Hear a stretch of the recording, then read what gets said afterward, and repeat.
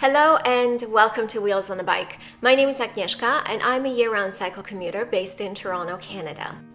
To provide a bit of context, cycling is my main form of transportation. I don't currently own a car. I do sometimes take the transit, I have an AutoShare membership and I take the GO train, which is a provincial train service. But cycling still remains my main form of transport because it is the most convenient form of transport for me. I ride my bike all year round, even in the winter. But before I started riding through the winter, I found the entire concept of riding my bike in the winter really, really intimidating. And I think that many other people have reservations about riding their bikes in the winter. It's just not something that's typically done. Winters in Toronto can be cold, with temperatures dipping down to minus 20, minus 30 degrees Celsius. In addition to this, there's always the wind chill factor, which makes it feel colder than it actually is. In this video, I'm going to share some of my clothing considerations with you. Please keep in mind that the information I share is based on my own experience and I am by no means telling you to go out there and buy all the things that I'm going to be showcasing. So take what I share with you with a grain of salt, apply what you'd like, and disregard what is not applicable. All right, without further ado, let's talk about what to wear when cycling in the winter.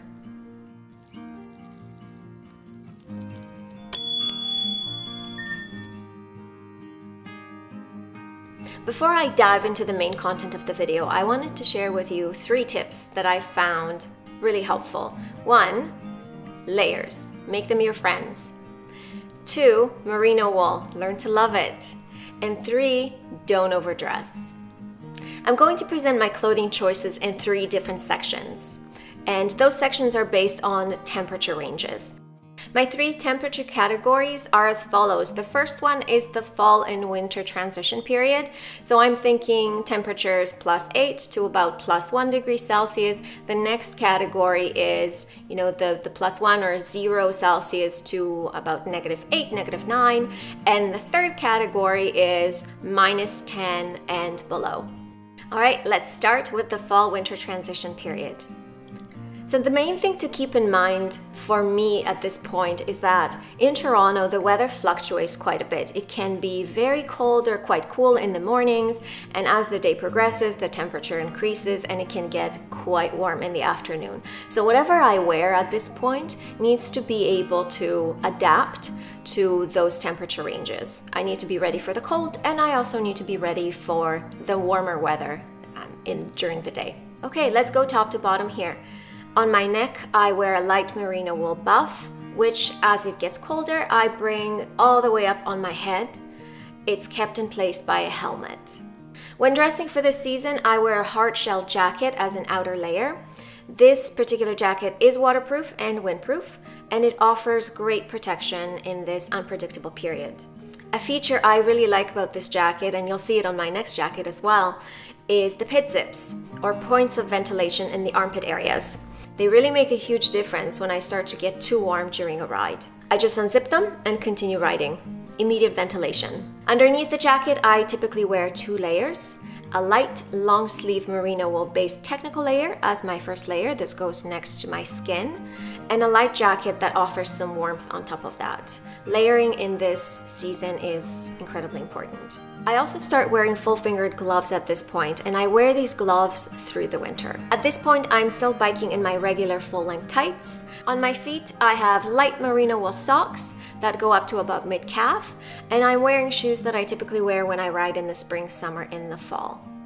When heavy rain is forecasted, I also wear waterproof pants over my tights and waterproof cover on my helmet. But when I do forget, I just use a garbage bag in, in its place. What I have been testing recently is um, a poncho. So it remains to be seen whether this item of clothing becomes a staple in my fall winter transition period. Let's move on to the next category. This will cover the temperature ranges from 0 degrees to minus 8, minus 9 degrees Celsius and my clothing considerations for those. So on my head, I now wear a much thicker merino wool balaclava. I still wear my regular helmet. There's also a change in the jacket at this point. The jacket I start wearing is a skiing snowboarding jacket. It has synthetic insulation and is incredibly warm. It is also water resistant and offers some great wind protection. As with the previous jacket, it has pit zips or zipped ventilation points in the armpit areas. As hard as it may be to believe, I do get warm when biking in the winter and I often unzip these. So I may start my ride with pit zip zipped up and then I unzip them as it as I get warmer. The aim here is to keep warm but not to get overly hot. One of the great features of this jacket is that it's it has this deep hood which I pull up over my helmet to keep my head warm. This works really well and also keeps my ears warm as they tend to get cold in this weather. In this temperature range, I typically only wear one long sleeve merino wool based technical layer underneath the jacket. On colder days, I may wear a thicker base layer, but at this point, wearing just one layer and or one technical layer next to my skin and the jacket is sufficient for me. My gloves are the same, but I do make one adjustment on my bike to ensure my hands are warm. If you watched my previous video on getting my bike ready for winter cycling, you will know that I install handlebar mitts or pogies on my handlebars.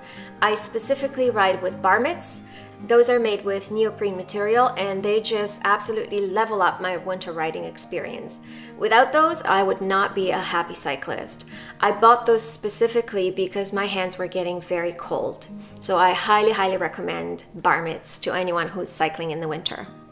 I start wearing thicker soft shell lined cycling pants. I like these particular pants because they are water and wind resistant and they are lined on the inside and that makes them not only warm but also very cozy. And who doesn't want to be cozy when you're cycling in the winter? On my feet, I wear thicker merino wool socks and I also start wearing my winter boots. Here's my one point of wisdom about winter cycling. It's really easy to overreact when you see temperatures dipping into the negatives, and that's completely understandable.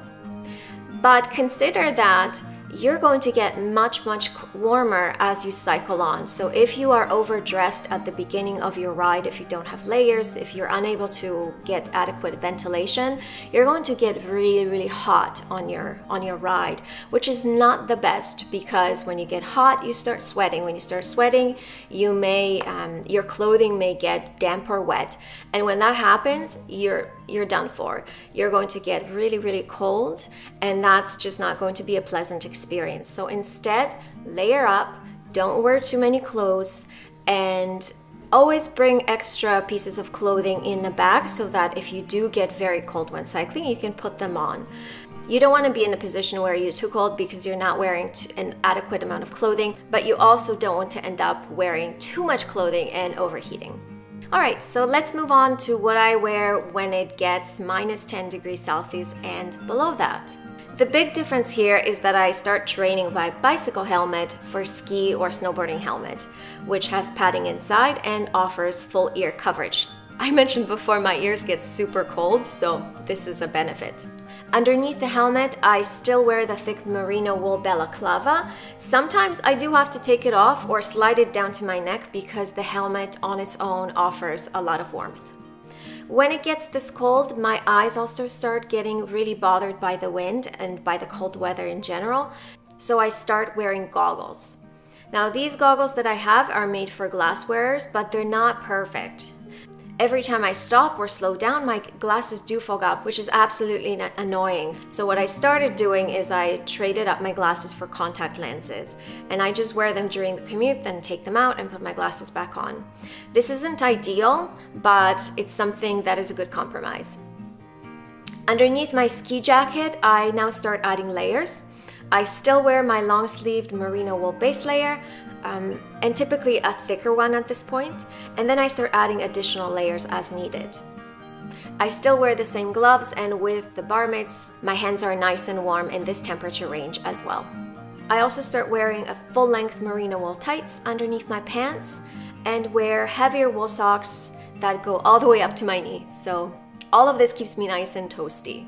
The next tip I like to share has nothing to do with clothing, but is a super easy solution, and that is coffee, or any hot beverage that you can bring with you on the bike.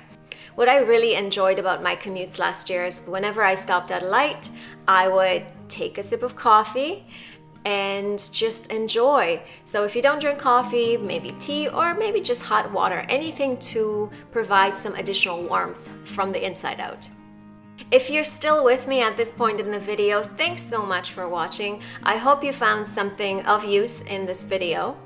Take whatever you find is relevant and apply it to build your own winter cycling wardrobe. Keep in mind that cycling in the winter should be an enjoyable experience.